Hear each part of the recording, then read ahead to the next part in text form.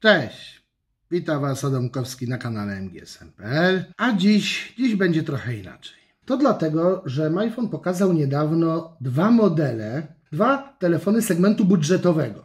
Należą dokładnie do tego samego segmentu rynku, kosztują dokładnie tyle samo, ale jednak trochę między sobą się różnią. I zamiast serwować Wam dwie osobne recenzje o w sumie dość podobnym wydźwięku, postanowiłem, że porównam ze sobą te dwa modele, by podpowiedzieć Wam, który z nich wybrać, jeżeli się w ogóle będziecie na taki telefon decydowali. No to co? Zapraszam. Na początek, jak zwykle, zaglądamy do opakowań, a w nich mamy dokładnie ten sam zestaw. Kabelek USB i tu zaznaczam, te telefony korzystają jeszcze ze starszego portu micro USB, 5W zasilacz i słuchaweczki z mini jackiem. Zaznaczam, jest mini jack w obu tych telefonach, a same słuchaweczki, choć wyglądają raczej prosto i raczej taniutko, grają całkiem przyzwoicie, zważywszy na segment y, telefonów, z jakimi są dostarczane. To są zupełnie przyzwoite, bo nie pokaleczą Wam słuchu i są nawet całkiem wygodne. Czemu uparłem się, żeby recenzować te smartfony razem? Po pierwsze, ze względu na cenę, oba kosztują niecałe 500 zł, bez złotówki. Oba korzystają z tych samych procesorów z 8-rdzeniowych Spectrumów SC9863A, taktowanymi 1,6 GB i wspomaganymi układami graficznymi IMG 8322. Oba mają też bardzo podobne zestawy fotograficzne. Pojedyncze 5-megowe aparaty z przodu i 13-megowe z tyłu, wspomagane dodatkową 2-megową matrycą do rozmywania tła. Oba są wyposażone, tak jak już wspomniałem, w mini jacki i porty micro USB. Oba są wyposażone w czytniki linii papilarnych i dual SIM. Wystarczająco dużo podobieństw, zważywszy na identyczną cenę, aby te telefony teraz porównać. To może przejdziemy teraz do oceny obudów, konstrukcji, ergonomii i tym podobnych spraw. Jak widzicie, mamy tutaj do czynienia y, z dwoma różnymi y, sposobami budowy telefonu, z dwoma różnymi filozofiami. CT2, stonowana czerń, spokojna, elegancka, dosyć stylizacja, oczywiście o ile telefon za 500 może być elegancki, no ale ten jest całkiem ładny dość dobra odporność na zarysowania i klasyczny wyświetlacz z przodu z równą, prostą ramką, w miarę wąską jak na ten segment cenowy, no ale nie oczekujcie, że y, będzie to tak wąska ramka jak y, powiedzmy w aktualnych średniakach czy wręcz wyższych modelach. I rozmiar. Telefony różnią się rozmiarem, a mniejszy Pocket Pro jest zdecydowanie modniejszy, bo jest tu sporo bajer. Przede wszystkim kropelkowy notch, modny obecnie, nadający smartfonowi takiego wyglądu, powiedzmy, urządzenia trochę droższego niż y, w rzeczywistości jest. Do tego połyskujący tył. Oczywiście tył jest wykonany z tworzywa, ale wygląda ono dosyć porządnie i bardzo efektownie jak widzicie, efektownie też dosyć zbiera y, zabrudzenia, no ale to jest typowa przypadłość tego rodzaju błyszczących smartfonów, każdym tak się dzieje, więc nie dramatyzujmy.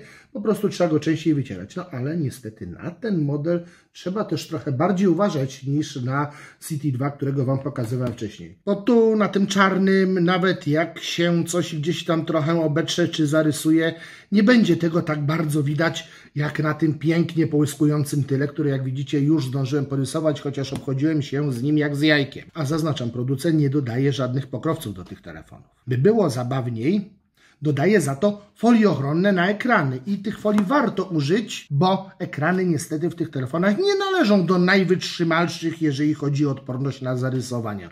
Dają się te ekrany dość łatwo, dość szybko zarysować niestety, więc dobra rada, jak już sobie ten telefon kupicie, to nie zrywajcie od razu tej folii, która tam będzie przyklejona na ekranie, a jak trafi Wam się okazję jakąś dokupić, to od razu dokupcie na zapas. Skoro już y, zatem padło słowo na temat ekranów, no to kilka słów na temat wyświetlaczy w obu tych modelach.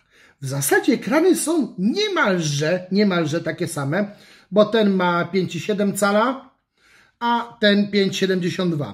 Oba to matryce IPS, Oba o rozdzielczości HD+, oczywiście rozdzielczością minimalnie się różnią, y, ponieważ mniejszy telefonik ma y, na wysokość 1520 pikseli, a ten większy 1440. Niemniej, jeżeli chodzi o wyświetlacze, w zasadzie wybierzcie ten, który lubicie. Jeżeli lubicie równe ramki, weźcie ten.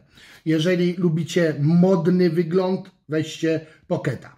Ja, gdybym miał wybierać, hmm, trochę subiektywnie, trochę subiektywnie podkreślam, ocenię, że ekran y, w pokecie nieco bardziej mi się podoba. Trudno powiedzieć, z czego to wynika. Może z nieco innego ustawienia y, temperatury barwowej, może z czegoś jeszcze. W każdym razie, jeżeli chodzi o ostrość, o jakość odwzorowania kolorów, te ekrany są bardzo, bardzo zbliżone.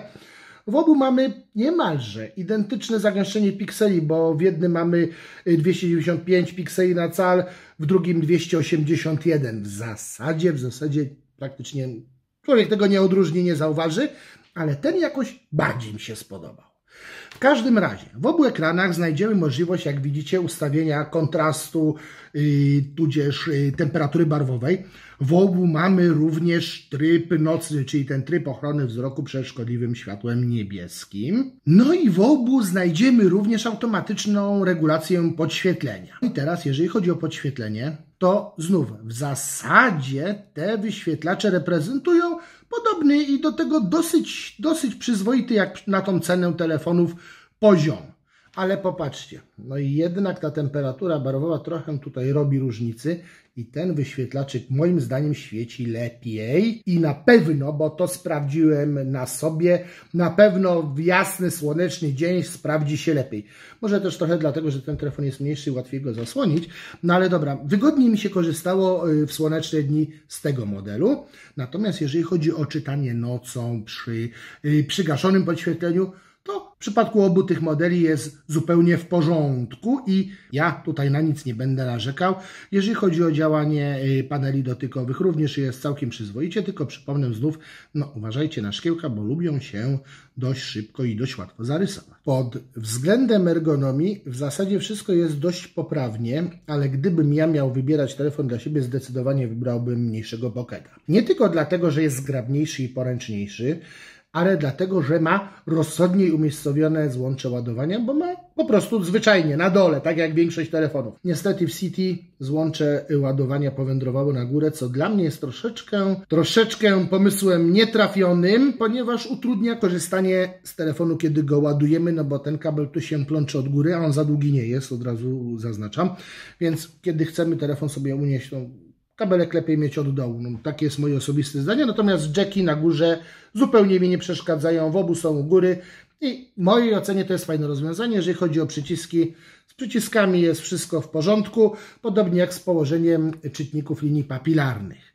No i słuchajcie, niespodzianka. Niespodzianka. W tanich telefonach za 5 stówek czytniki linii papilarnej działają całkiem przyzwoicie. Dobra, no to nie jest poziom tych najlepszych czytników z dużo, dużo droższych smartfonów, ale Powiem szczerze, mnie to trochę zaskoczyło, bo spodziewałem się po prostu dramatu, tragedii, y, chęci ciśnięcia telefonem o ziemię za każdym razem, kiedy próbuję go odblokować. A tu się okazało, że w zasadzie 9 na 10 prób jest udanych, czyli całkiem, całkiem przyzwoicie, szczególnie kiedy odniesiemy to do ceny smartfonu. No i jeszcze dla porządku wspomnę, że jest tutaj też odblokowywanie twarzą. Taki prosty układ oparty o obraz przedniego aparatu, więc nie oczekujcie tu Bóg wie czego, w ciemności raczej nie zadziała. I, I, do tego jest oczywiście smart lock, czyli możecie y, po sparowaniu z bluetoothem w samochodzie czy z opaską y, sobie ten telefon odblokowywać automatycznie, on wtedy się po prostu nie będzie blokował, jeżeli jesteście w zasięgu bluetooth. No wspominam, bo powiem szczerze, że w kilku telefonach tej funkcji czy brakowało.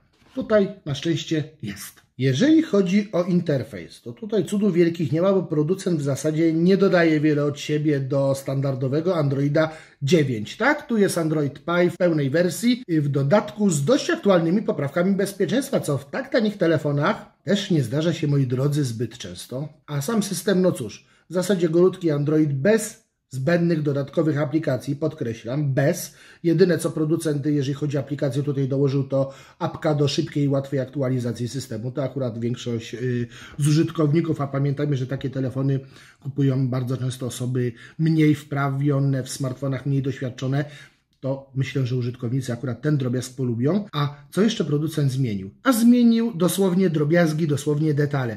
Poza ustawieniami wyświetlacza, o których już Wam wspominałem, dał jeszcze możliwość edycji paska nawigacji. Możemy sobie zmienić układ przycisków w dole ekranu. A do tego dołożono jeszcze kilka bardzo, bardzo prostych, bardzo podstawowych gestów. Możemy sobie zamienić trzy dolne przyciski na pojedynczy i poruszać się po interfejsie gestami. Mamy też opcję wybudzania poprzez uniesienie telefonu i skrót do wyłączania dzwonka. I to jest, słuchajcie, wszystko, jeżeli chodzi o ponadnormatywne dodatki w systemie. Jeżeli pytacie o wyposażenie w aplikację, to niczego tu nie brakuje. Jest pełen pakiet Google, jest dyktafon. Jeszcze dla porządku dodam, że w obu przypadkach można przełączyć interfejs w tryb ciemny, trochę mniej męczący wzrok, szczególnie po zmroku. W przypadku oceny wydajności, no powiem szczerze, że trochę się uśmiałem, bo z jednej strony ten smartfon jest mocniejszy, no, ma 4 giga RAMu, wykręca tam więcej punktów i powinien zasuwać.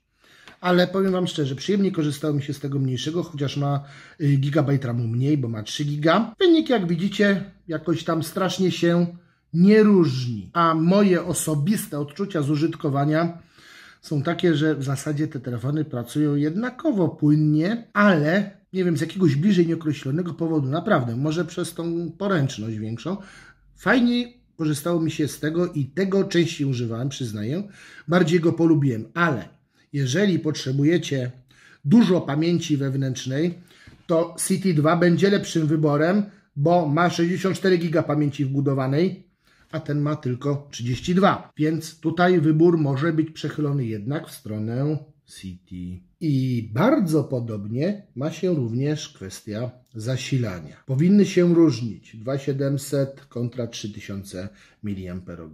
Ale słuchajcie, jest minimalna różnica w ekranie.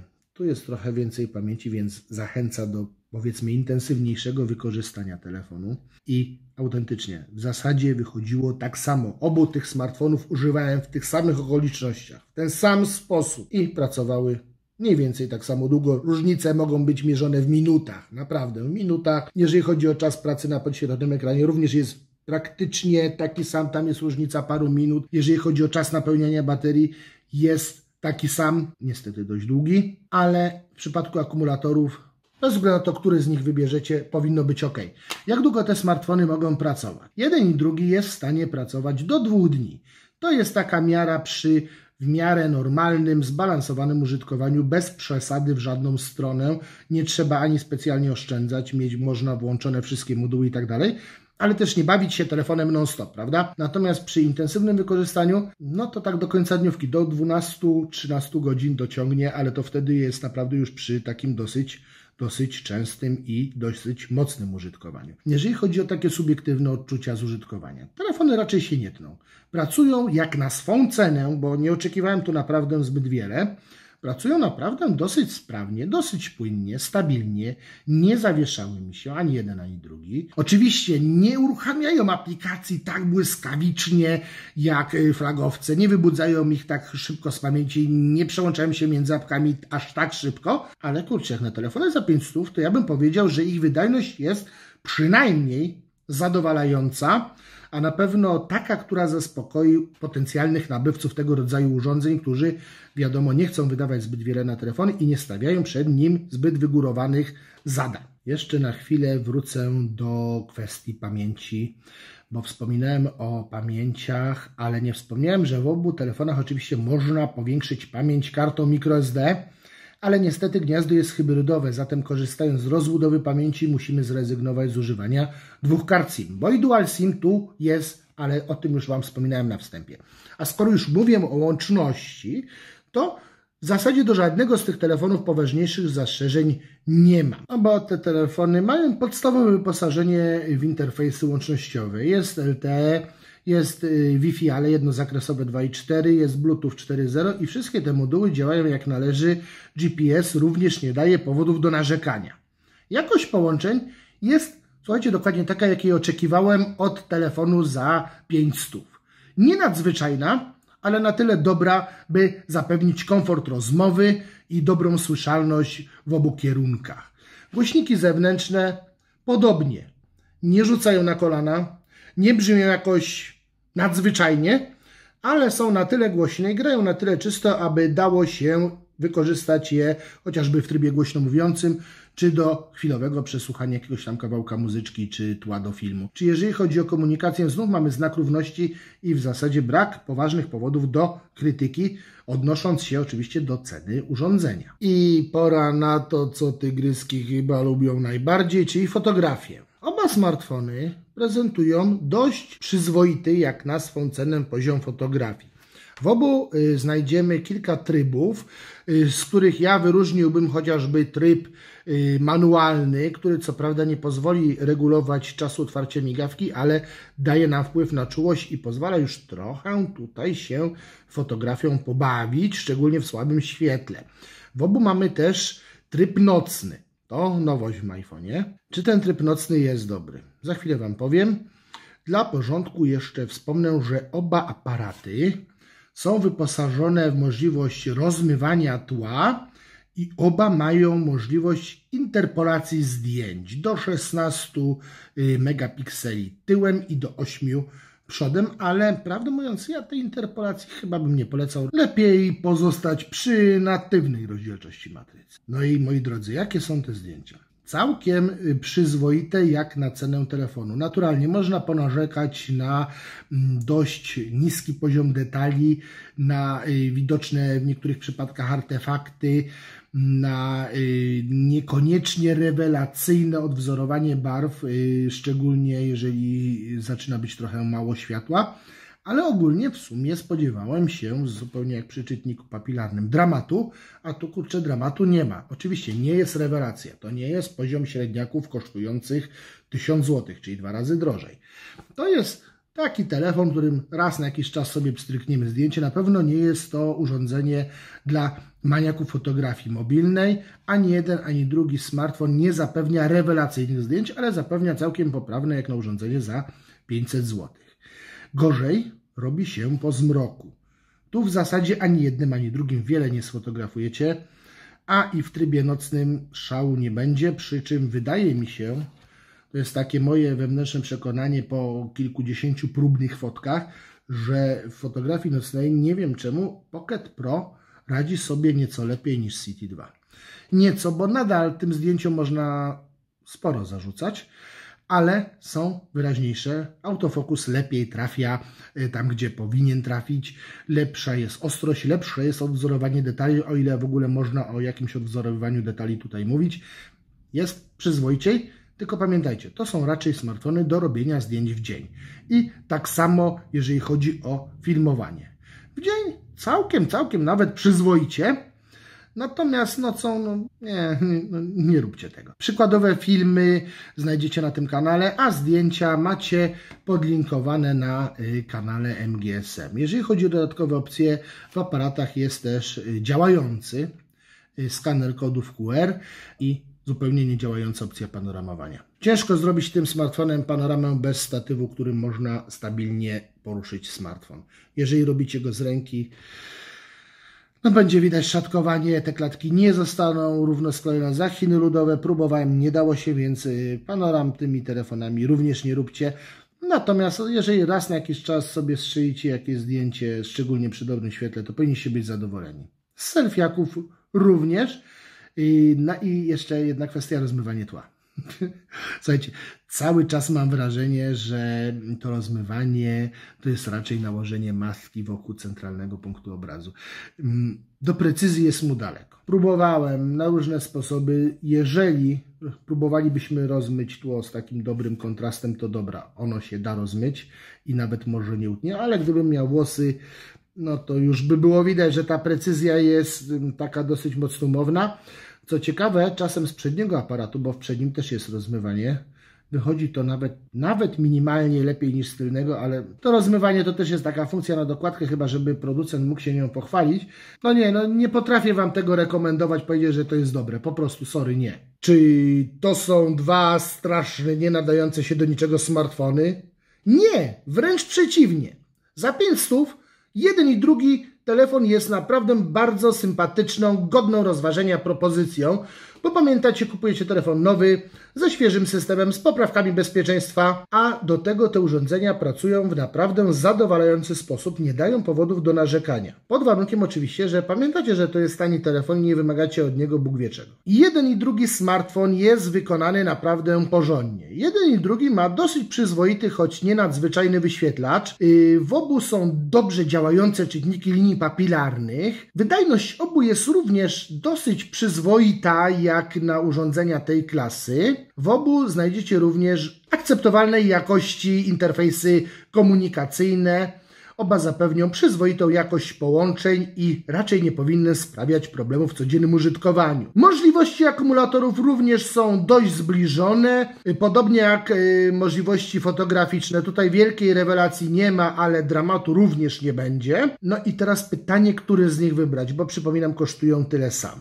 Może krótko o przewagach jednego nad drugim. City 2 kupcie, jeśli chcecie mieć odrobinę większy ekran, trochę więcej RAMu, co tak naprawdę wiele w działaniu telefonu nie zmieni, ale zmieni sporo dużo większa pamięć wewnętrzna, więc jeżeli chcecie mieć więcej pamięci wewnętrznej, to również City 2. Jeżeli lubicie stonowaną, spokojną stylizację, i zależy Wam na tym, żeby telefon był odporniejszy na trudy codziennego użytkowania, kupcie City 2. Z czym się będziecie musieli pogodzić? Przede wszystkim z trochę takim, nazwijmy to oldschoolowym wyglądem, można powiedzieć klasycznym, żeby tutaj producenta nie urazić, y, z dziwnie umieszczonym y, portem USB i minimalnie gorszą jakością zdjęć w trybie nocnym. Jeśli zależy Wam na modnym wyglądzie, sprawiającym, że Wasz smartfon wygląda na nieco droższy niż jest, to weźcie sobie Pocketa. On bardzo fajnie leży w ręku, jest